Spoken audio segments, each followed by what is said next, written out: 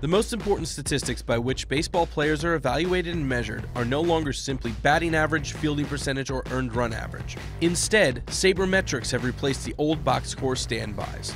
And no sabermetric stat is more important than WAR, or wins above replacement.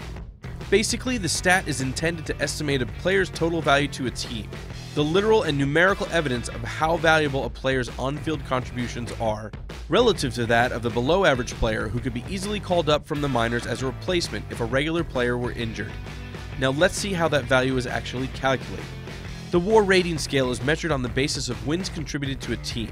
The base level, usually representing a low caliber player, starts at zero wins contributed during a 162 game season.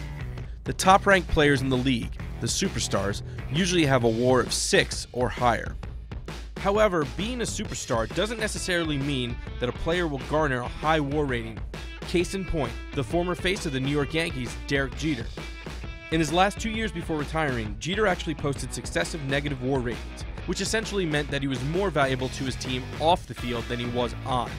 WAR takes everything into account every facet of the player's game, playing conditions over the course of a season, ballpark dimensions. It's a fully comprehensive representation of one's impact on the game and their team. Now, here's the mathematical equation used to calculate a player's WAR average. This is the trickiest part of the whole thing. It looks complicated, and it is. Each of those categories also has a corresponding formula that is pretty mind bendingly complicated. So, that said, let's break WAR down in layman's terms. It's based on runs contributed to one's team through batting, base running, fielding, and pitching. So, yeah, production and statistical categories are important and factor into the final WAR number, but so is the position one plays, the ballpark they call home, and the league in which they play.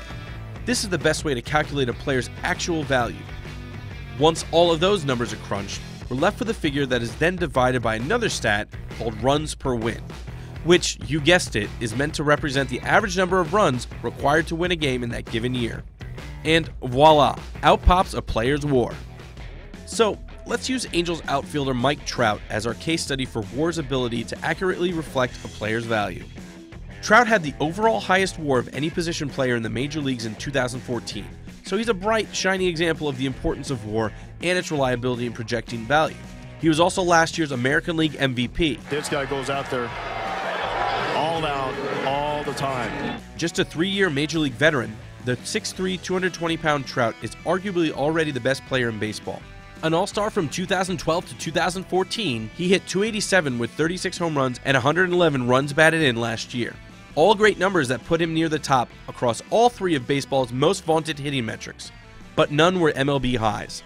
Once WAR is calculated, though, we see that Trout's rating of 7.87 was the highest in the league by a wide margin, well ahead of other stars like Adrian Beltre, Andrew McCutchen, and Miguel Cabrera.